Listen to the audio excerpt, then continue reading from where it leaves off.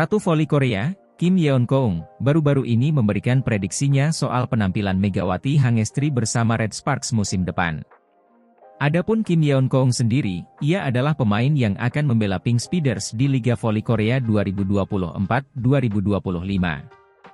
Praktis, Kim Yeon Kong dan Megawati akan saling berduel dalam perebutan gelar juara Liga Voli Korea 2024-2025. Meski berstatus rival, Kim tak sungkan memberi pujian kepada Megawati. Menurut Kim, Megawati akan tetap bersinar dan masih menjadi andalan Red Sparks.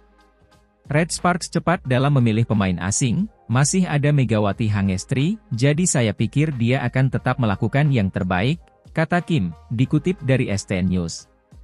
Prediksi yang dikatakan Kim soal Megawati tentu beralasan. Mengingat pada musim sebelumnya, Megawati mampu membuat kejutan dengan menyuguhkan penampilan yang impresif. Pada musim lalu, Megawati menjadi penyumbang poin terbanyak untuk Red Sparks. Berkaca dari statistik itu, aksi Megawati yang berposisi sebagai oposite bisa saja menyulitkan Kim untuk bisa membawa Pink Speeders meraih kemenangan. Adapun saat ditanya soal peta persaingan tim juara, Kim menilai jika ia masih sulit untuk menebaknya. Masih dikutip dari sumber yang sama, Kim menilai jika semua tim mempunyai kans yang sama untuk bisa tampil apik musim depan. Masih terlalu dini karena setiap tim berkembang pesat.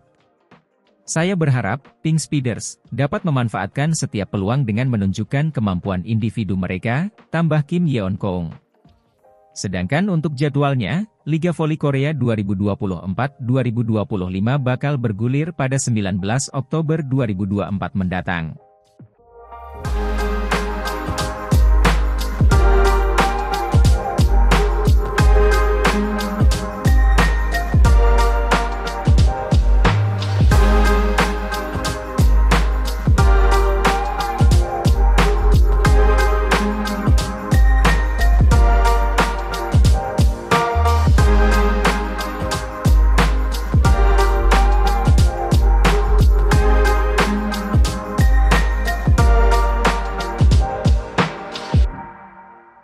Download Tribun X sekarang.